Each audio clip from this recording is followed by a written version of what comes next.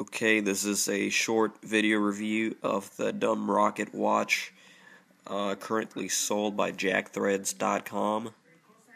I purchased this watch uh, about, I believe, about three weeks ago now, and when I first got it, it looked really nice. And I mean, for twenty five dollars, you can't really uh, expect uh, have, have like high expectations.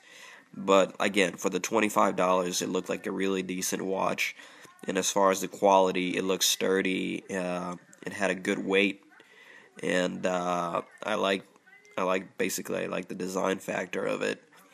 One thing I did notice was that a couple of days after I started wearing it, uh, I don't think you will be able to notice it right uh, with my camera, but basically in the top left hand corner I noticed that there was like some sort of a thread in there, and I think you can maybe actually hold on. Let me try to focus on there. You may be able to see it right here.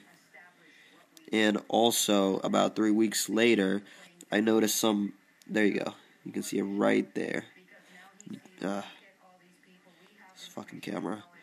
Uh, you can see the dirt. There's dust under the glass again, I am I work in an office, so it's not like I'm out outdoors doing like manual labor and shit.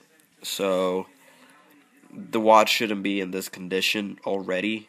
I sent an email to Jack Threads after looking at their return policy, saying that after that they don't credit your credit card um, for anything except they give you store credit if the item has is returned unworn and unused and all that shit well, basically, I basically with that I couldn't return the watch, so I said whatever. It's only twenty five dollars, so I sent them a, a note saying that the watch, the quality, it was a, a defective watch. Basically, I mean, shit gets under the glass and it looks like crap. So they replied to me, uh, their customer support team. I wasn't actually even expecting a refund nor a store credit but the person that responded to me said that he would uh, uh, cancel, uh, void the transaction and return all of my money. So basically, I would end up getting about thirty dollars with shipping and handling.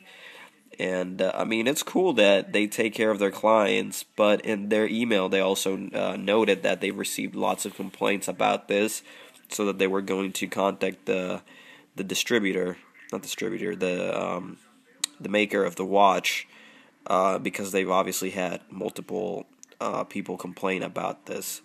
So if you're interested in the dumb watch that is currently on sale at jackthreads.com, it's a great watch as long as you basically don't use it. You don't wear as long as you don't wear it, the watch is going to look really nice. But um, I mean, if you don't mind having shit underneath the glass and and you think it's cool, whatever, uh, then go ahead and get it. Uh, I mean, as you can see, I'm changing the colors. It's all. I mean, it's a cool watch. I won't deny that. Uh, but basically, it's defective. And that's basically all I had to say about the watch. Thanks for watching.